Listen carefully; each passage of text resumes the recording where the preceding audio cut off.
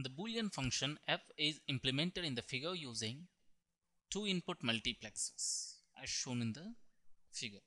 See now, here suppose I am indicating this one with f1. f1 is nothing but b bar c plus b c bar. So f is nothing but f1 bar 0 and f1 a. So which is equals to a into f1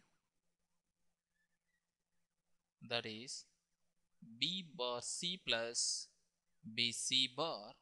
Hence option a is correct. The period of the discrete time function is 0.125 milliseconds and it is sampled at 1024 equally spaced point it is assumed that there is no aliasing. Compute the interval between the frequency components in kilohertz. Here, the time period of the signal is 0.125 milliseconds and n is 1024 equally spaced sample points. Hence, the sampling frequency is nothing but fs is 1024 divided by 0.125 into 10 power minus 3 which is equals to 8.2 megahertz. With this particular 8.2 megahertz the frequency spectrum is going to repeat. Here in time domain the signal is discrete as well as periodic. So in the frequency domain as well it is going to be a discrete as well as a periodic. So we have to decide what will be the spacing between the successive frequency components. So the interval is defined as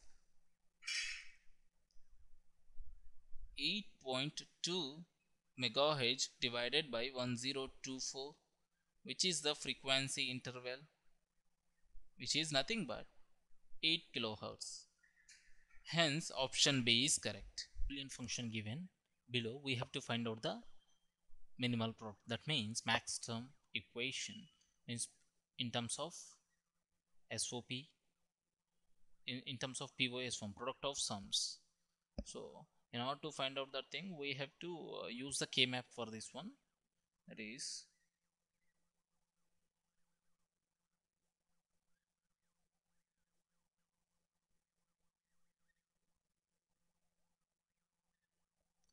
this is WX yz 1 3 4 5 6 7 11 14 15 0 0 0 0 0 0 so we have to group this.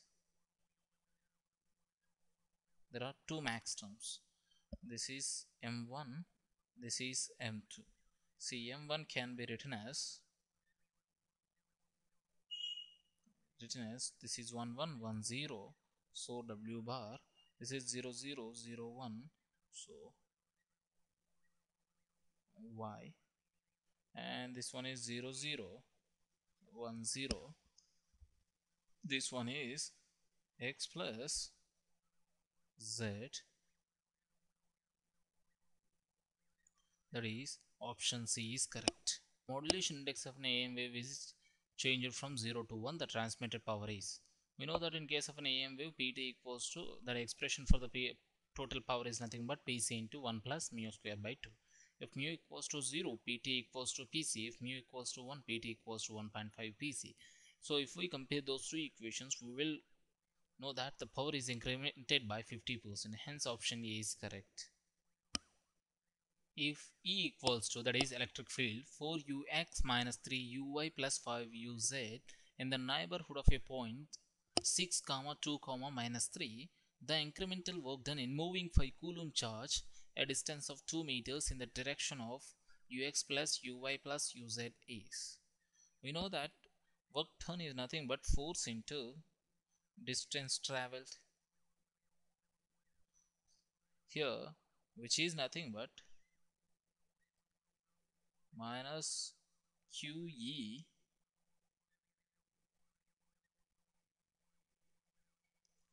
into dt there is distance traveled. So minus 5 4 into ux minus 3uy plus 5uz in the direction of this one. So we have to find out the unit vector in that particular direction. ux plus uy plus uz divided by root 3 2. So minus 20 ux plus 15 uy minus 25 uz and 2 by root 3 ux uy uz here minus 20 plus 15 minus 25 to root 3 so minus 45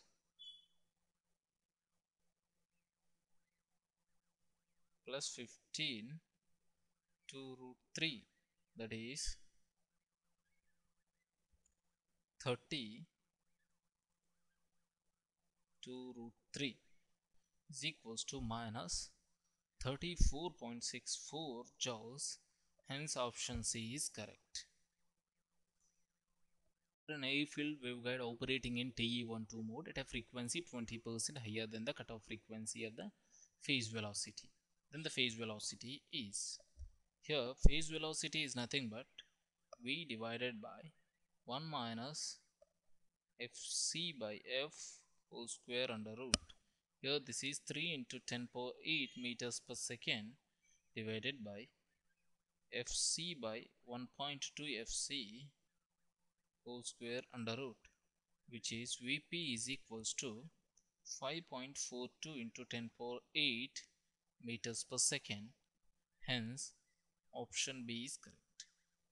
Integral of sin x plus cos x divided by under root 1 plus sin 2x dx equals to here sin x plus cos x divided by sin x plus cos x whole square under root dx which is equals to x. Hence option B is correct. Given that out of one call, one call out of 15 between 2 pm and 4 pm of week are busy. And we have to find the probability that exactly two calls will be busy out of six randomly selected calls. Now, let us take P as the probability that a telephone call is busy. Then q will be nothing but probability that telephone call is not busy. Means it's ringing.